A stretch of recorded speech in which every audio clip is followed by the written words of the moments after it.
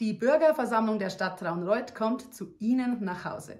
Im Namen des ersten Bürgermeisters Hans-Peter Dankstadt und der Stadtverwaltung lade ich Sie herzlich ein zur virtuellen Bürgerversammlung 2022 am Dienstag, den 25. Oktober ab 19 Uhr. Schalten Sie ein über unsere Internetseite, über Facebook oder YouTube und stellen Sie Ihre Fragen. Die können Sie natürlich schon vorab einschicken über ein Formular auf unserer Internetseite, per E-Mail an bürgerversammlung.traunreuth.de, über dieses ausgefüllte Formular oder natürlich auch per Post. Am Abend selbst können natürlich auch Fragen gestellt werden. Das funktioniert dann über die Kommentarfunktion bei YouTube, über Facebook-Nachrichten oder über den WhatsApp-Channel der Stadt.